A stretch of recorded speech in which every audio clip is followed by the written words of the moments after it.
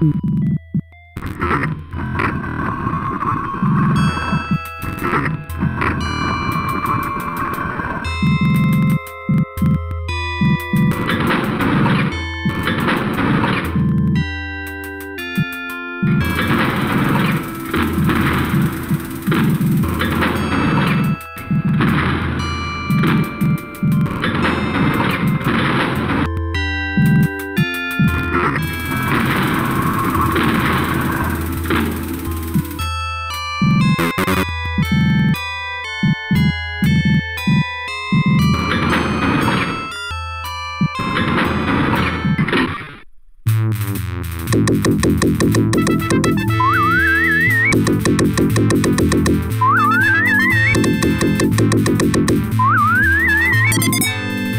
Off, if I haven't mentioned this yet in my previous Wolfenstein mods, or if I had to all new viewers on my channel, I do not know why, but the music track for this level and for the levels that have, that have used this music track in past Wolfenstein mods, I love this music track. Around the Corner, I don't know why I love, but it's my favorite music track in all of Wolfenstein 3D. But about floor 6, yeah, it is a large map as well as floor 5, but it's not as confusing as floor 5 a lot of the thing, a lot of the objectives are on their way, and there isn't too too many side areas. There are several rooms though you need to prepare for, such as the Silver Key room. How all the um, there's a lot of guards in there.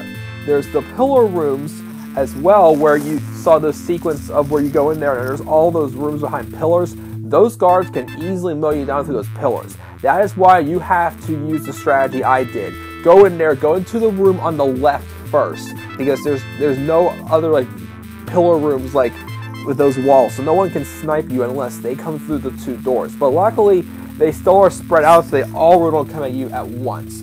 So that is all right. The ending also, though, could be pretty tough, as you saw. Also, there's a lot of guards in those rooms as well. And there's a couple of those rooms here. There's just a ton of guards in there, and some of them are like off distantly towards the back. So they're harder to kill, but they can kill you even easy than you can probably kill them. And also, something that kind of bothered me about this map too is the fact that there's too many chain guns in this map. Like, you really only need like one chain gun. Why are all these chain guns in the secrets, you know? Uh, it's, it's just so weird. And, and of course, also, you know, um, there is a lot of backtracking in this one as well, so you gotta be prepared to do all this backtracking, which I know could be annoying, but it's what you have to do to get past this map. There are 18 secrets also in this map, by the way, and I almost forgot that last one right at the end, but luckily it was just right outside there, so it's not like I had to go all the way back to the beginning and backtrack. But yeah, that is it for floor 6. We will now move on to floor 7 in the next video. And until then, guys, I am the Club of the Man, 1993.